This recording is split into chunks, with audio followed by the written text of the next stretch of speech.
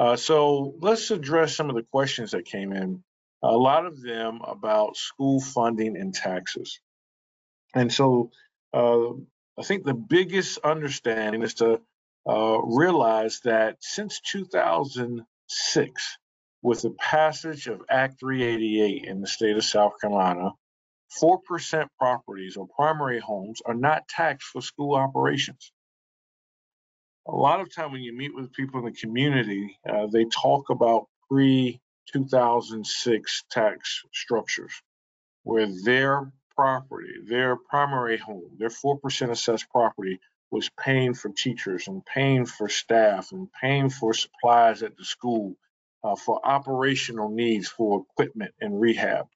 Uh, with the passage of Act 388, that moved that so that uh, more of that share would come from state or sales uh, sales tax.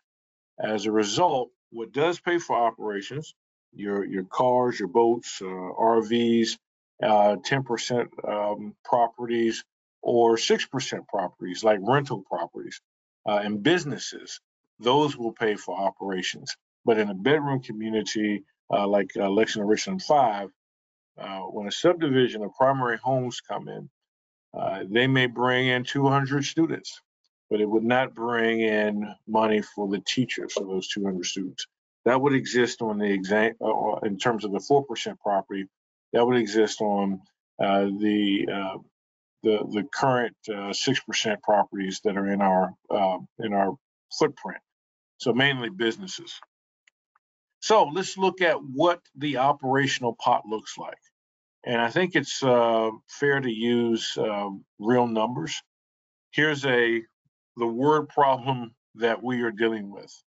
The school district identified August of 2023 182 million four one hundred and forty-one thousand four hundred and ninety uh, dollars and ninety-two cents of identified needs. That's over eleven thousand incidences of repair uh, that were addressed um, in the summer of 2023 when it was reported. So where does the money come from? Well, we have $215 million in our operational fund. 64% uh, of that comes from the state. 35% of that comes from the local government. That's the, the local taxes for operating. And then we have 1% in grants. How do we spend this $215 uh, Uh, million dollars? Now, this hasn't been audited yet. You can go back to last year's CAFR and see basically the same percentage breakdown as we're currently in. But these are the funds that we're sending to the auditor. 88% of the two $115 million went to salaries and benefits for the people who work in School District 5. 88 cents of every dollar goes to the people. So, with utility costs uh, of power, and water, and gas, uh, all of that, uh, with with services such as lawn care or legal services or uh, substitute services, uh, seven cents of every dollar goes to that four cents of every dollar will go to supplies and materials, and then one cent from every dollar will go to equipment.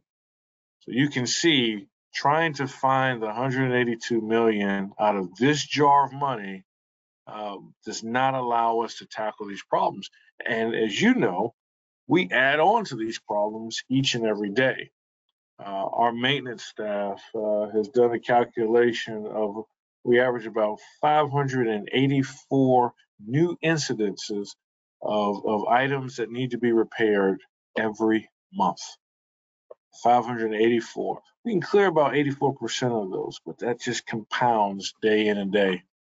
And so in uh, 1951, there was the School Bond Act.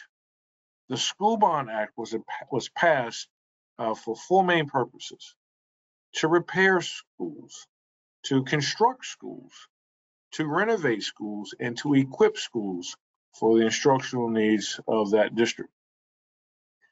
This was to give schools funds so they would not have to use this pot, the operational, to take care of their uh, their identified needs. Now, with the School Bond Act, you are limited to 8% of the total assessed value of your uh, community, of your tax district. That number, uh, as of uh, our, per Chris Harmon, our, who is our uh, county auditor for Lexington, is $52.7 million. Now, again, uh, $52.7 million, we have a $182 million problem. We have currently used about 88% of these funds. So we don't have 100% of these funds available to us. About 88% of this is already used. Uh, you say, well, where's it used? In annual maintenance that we have, uh, in repairing roofs uh, and, and, HVAC systems, uh, in handling ADA compliance issues.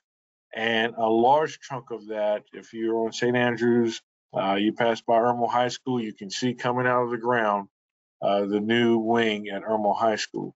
So about 88% of this is already used. So again, the math does not work uh, in terms of how to fix this. So our proposal is to go over the $52.7 million cap.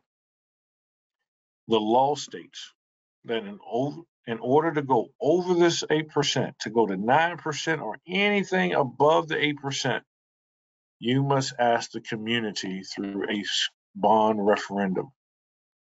Now, we have calculated that if we ask the community for $400 million uh, to go over 8%, to go above 400 million, that would require a tax increase. Now, it's, un, it's important to understand that there's two taxes. One tax is for the operation. Another tax is called debt service. Debt service pays for the bonds. So when bonds are issued or general obligation bonds are issued to the community, uh, uh, for we usually sold on Wall Street, uh, there's principal and interest. The community pays a debt service tax. All properties are assessed a debt service tax. That debt service tax pays uh, the the debt on those bonds that are issued. To go and borrow $400 million, our district would need to increase the debt service tax to service that those bonds. That's the threshold uh, for our, our, our school district.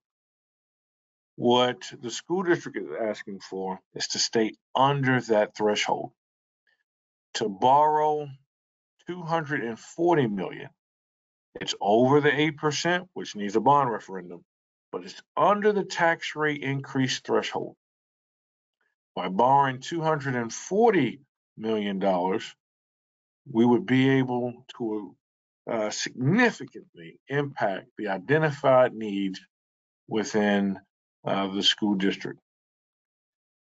As a um, school district, it's important that we understand that we cannot advocate uh, a side, but we must explain the financial uh, situation and the uh, financial outlook for a district. These are the only two pots. Uh, the question was, is there a slush fund or anything? We we're audited by uh, multiple agencies, uh, from independent auditors uh, to our annual CAFR uh, that is submitted to the state, to the state finance uh, department itself, to the Office of uh, Inspector General. Uh, our numbers are the numbers here, and this is the reality. So, as um, our district no longer has access to uh, the, the ESSER funds, these are the, are the realities that we have in terms of taking care of that. So, the tax fact that it's important to understand is the bond referendum will not increase the tax rate. This debt can be serviced with the exact same millage rate that we currently have.